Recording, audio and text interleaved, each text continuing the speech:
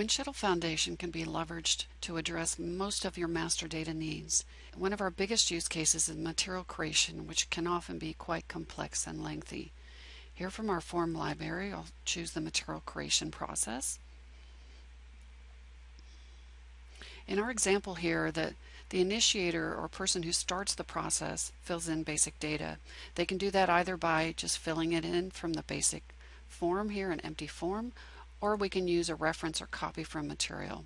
If we know the material number and plant, we can retrieve the data, but if we're not sure, we can search. Now the search here in this case is in order to find a reference material, but you can also search to see if there are any materials that are already out there, then this would be a duplicate. So I've got a material range, I've got material types like finished goods and semi-finished goods, and then I can use a wildcard here for description. It's going to find any materials in the SAP system that currently match the search criteria.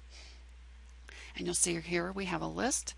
I'll choose my reference or copy from material. And then I can choose the plant and read that data. And it's going to populate this particular view, but it will also populate other views as you'll see in a little while. Now in this particular example, we have to fill in a, material number. Your process may generate one for you. And we can go through and update. So this description will be updated because we're going to have a 128 gigabyte phone. We can also provide drop downs and we can provide ways to look that up.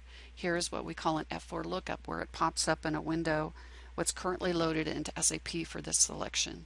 And we'll choose uh, retail for the industry sector.